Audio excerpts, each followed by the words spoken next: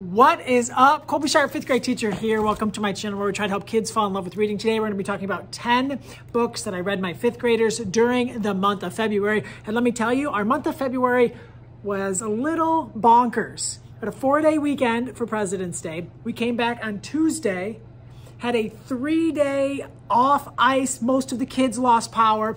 It was a disaster. So we had one school day out of 10 days, fell a little out of our routine, but we still managed to read some pretty amazing picture books. Let's start with this one. The hospital book. You may remember Lisa Brown for from her book, The Airport Book.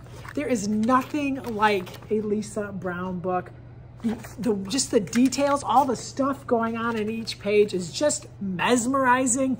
I love this book. It's a story about a girl who has to go to the hospital when something happens, gets poked a bunch of times. Wonderful book. I think it's really going to help put kids at ease on going to the hospital to take care of their needs.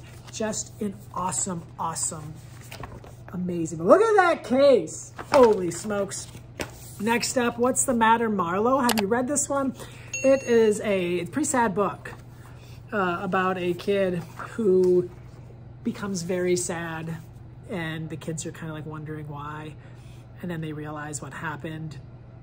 And then a lot of them have been gone through a situation like this and lost something that matters to them.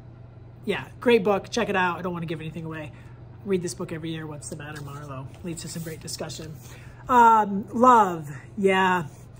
Um, we are about 45 minutes south of Michigan State University, and it's one of those situations where things are pretty confusing and pretty hard. So after the shooting in East Lansing, we we read um, Love, and there's just the scene here with the family gather on a television after a tragic event happens. Um, was it just a book for us to be able to um, just kind of be sad together and know that love is is something that can find our way back to.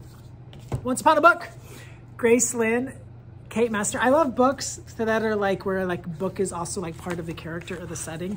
And this is one of those books. I think this is going to be one of those books that's on like, I don't know like which ALA awards, like is it a Newbery, is it a Caldecott? But what I do know is that this is going to be one of those books that we're gonna find on like, you're gonna be, you're gonna hear in a couple years, you're like, oh, Once Upon a Book on 20 state book award list. It's that good, it's phenomenal. It's just so much fun to read aloud and discuss with kids.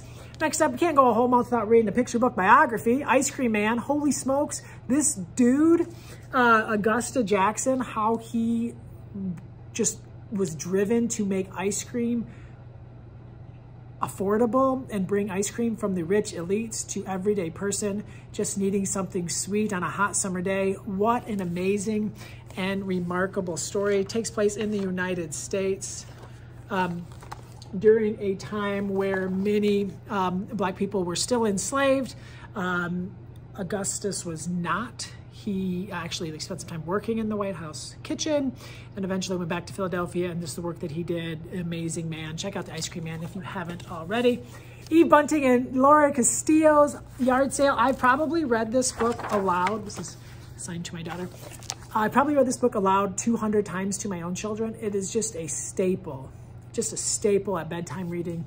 Story of this girl whose family is having a yard sale because due to finances, they are no longer able to live in their home and they have to go live in a small apartment. And watching this girl say goodbye to her friends, say goodbye to her possessions, um, and just be worried that what's the future holds for their family. It's a beautiful book. If you haven't read this one, check it out. Eve Bunting, master storyteller. Lauren Castillo, Caldecott honor-winning illustrator for a reason. Phenomenal. Be a King. Uh, I feel like like we should read a Carol Boston Weatherford book every month of the school year. Like that should be a goal of all of us. Like it really, it really should be a goal of all of us. Her books are so phenomenal. This is just a book about living by the principles and teachings of Dr. Martin Luther King Jr. Be a King. Check it out. So good.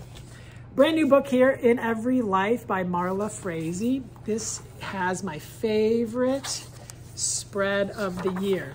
So in every smile, let's the light, and then check out this page turn. This is my favorite two page spread of the year. I can't get enough of that. check it out. Marla, right? She's won like three Newbery or three Caldecott honors, I think. So talented. On a Beam of Light. We had read this book earlier in the year. If you watch these videos, you may have seen me talk about this one.